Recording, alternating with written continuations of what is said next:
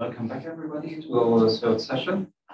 We are going to start with a talk on an interpreter for functional reactive programming language. And is going to present. Thank you for the introduction. I'm Go Suzuki, an undergraduate student at the Institute of Technology. Let me start with the overview of this work. This work aims to accelerate the prototyping of small-scale embedded systems. The term small scale here means uh, resource-constrained devices, devices such as microcontrollers. Towards this goal, we have developed an interpreter for functional reactive programming uh, for, for functional reactive programming language than for embedded systems. In particular, the interpreter enable, enables, to, enables interactive development by providing a read, eval, print, loop environment running on resource-constrained devices. The design goal of the interpreter includes interactively definable and redefinable time-varying values, low memory consumption, and good real-time real-time performance. The current contributions include a prototype, prototype implementation of the interpreter named Emfrp-REPL and its evaluation concerning memory consumption and end-to-end -end latency. Through uh, this, pre this presentation, I use a simple implementation of Theremin as an example. Theremin is an electrical, electronic musical instrument that controls its sound by detecting the position of the performer's hands with antennas. The example shown here is a simple one that controls the frequency and volume of the output sound using a single TOF sensor that measures the distance to the performance hand.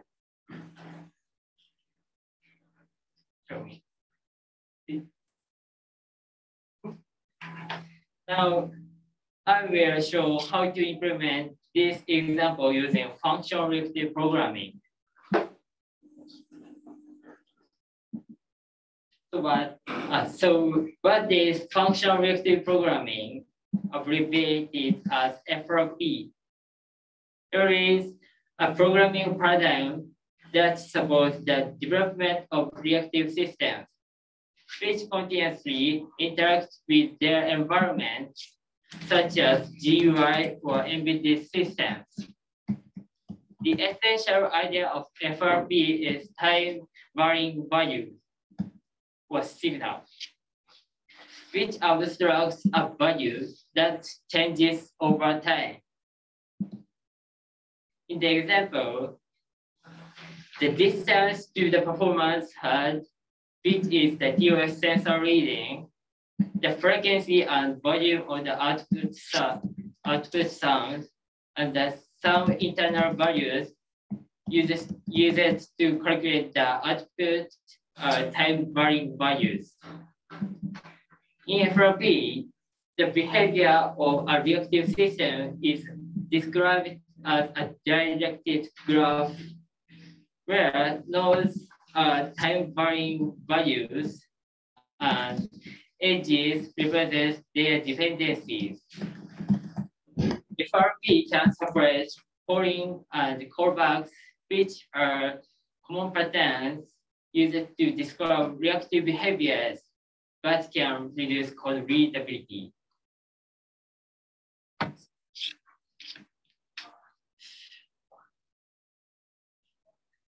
Our research group has de designed and implemented Emfrp. Uh, FRP language for small scale embedded devices. Through several applications, we have shown that FRP is suitable for resource-constrained embedded systems based on microcontrollers, such as AVR ESP32 and ARM Cortex-M3. The Emfrp compiler generates efficient C codes so, so that we can run even on a, an 8-bit microcontroller like this one in the video. Not afraid.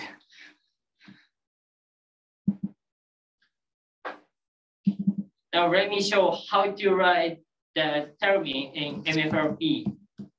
Here is the Emfrp program module implementing the example.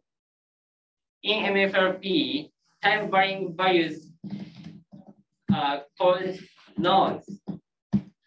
And they are classified into three kinds, input, output, and intermediate nodes.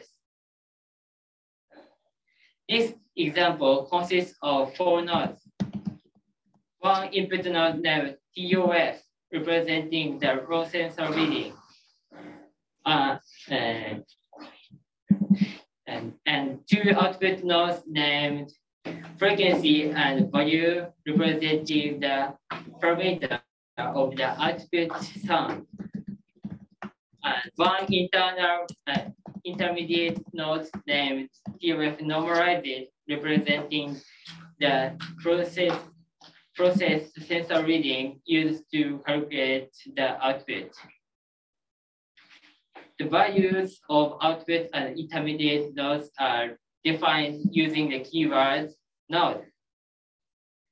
The connections between input and output nodes and external devices such as sensors and speakers and uh, separated, separatedly written as C functions.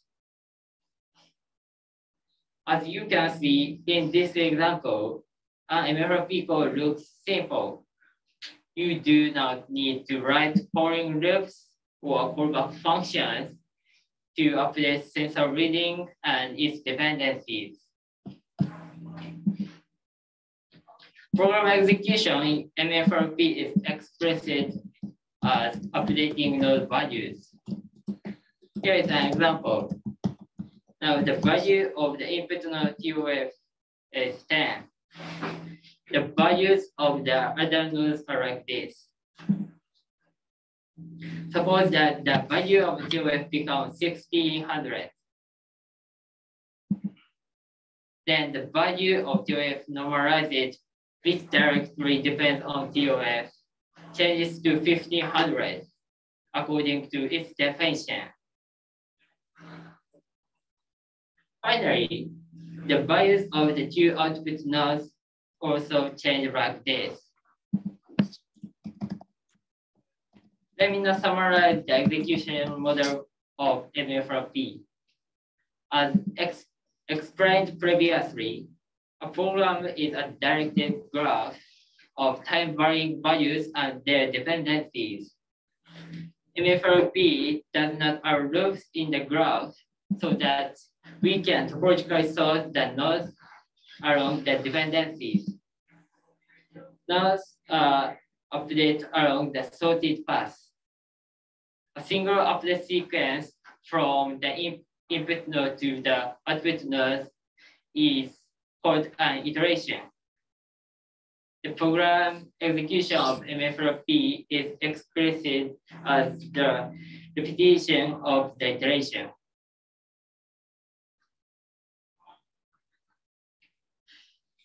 Emfrp provides the operator at last to refer to, to the value of a node at the previous moment. This actually gives the value of the node in the previous iteration. This, this operator makes it pos possible to describe state-dependent behaviors.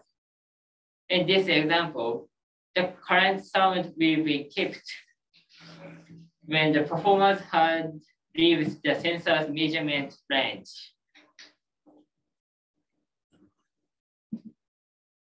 Okay, Now let me explain the motivation for this work.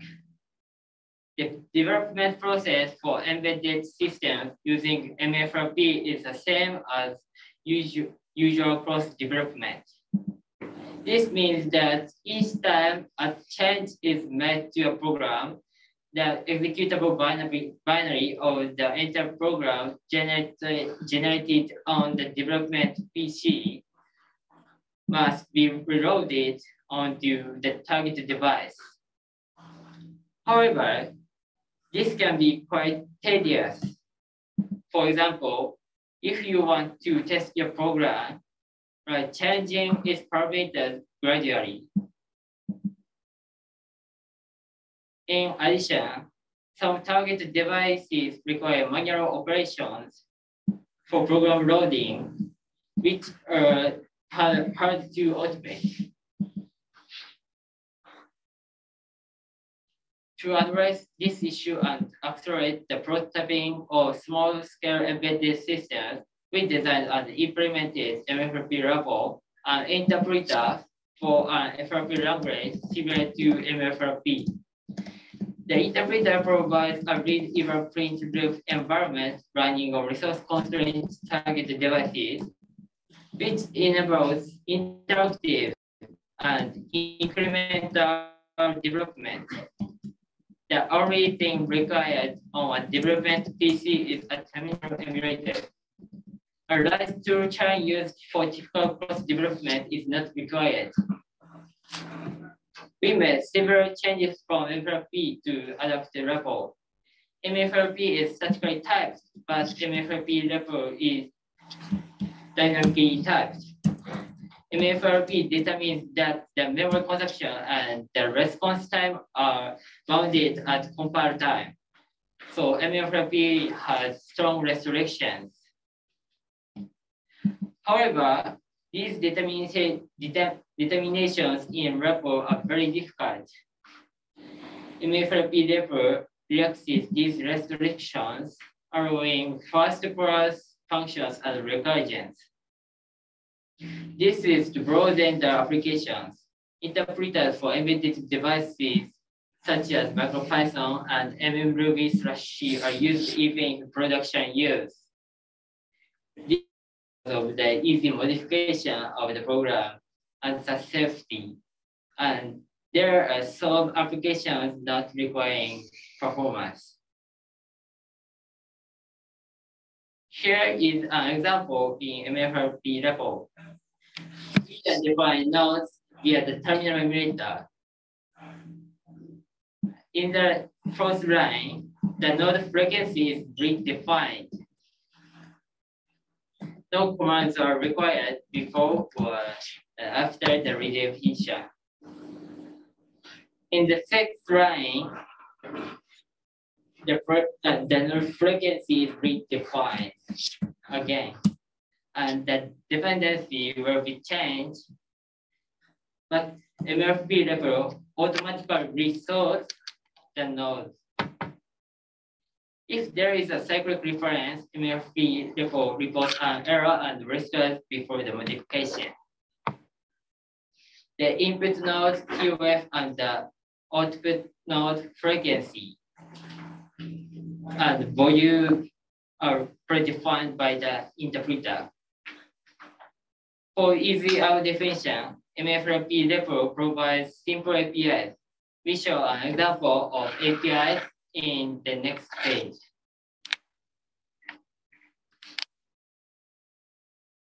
These blue lines are initializing Emfrp-REPL. MFRP add input nodes and MFRP add output nodes defines input and output nodes. Uh, the third argument is a callback. Your sensor uh, re receives the value from the sensors and the uh, speaker flag, flag uh, send, the value to the prefer. Red line uh, reading a user input. UART is available for the serial and checks whether the user input is available. If input counts, MFRP level is the line of the input for evaluation. And if nothing counts, MFRP update executes an iteration as the green lines. I will explain about the implementation. Currently, Emfrp-REPL traverses AST and never compiles into any bytecode.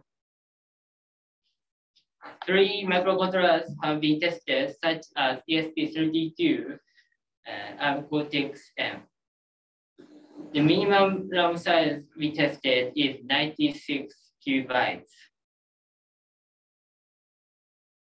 For the implementation goal, interactively definable time varying values, Emfrp-REPL write a journal to revert a redefinition of the nodes if the redefinition fails. Emfrp allows tuple named nodes, and the Emfrp-REPL also allows to redefine part of tuple named names. So in this example, it is necessary to record what was pressed in X.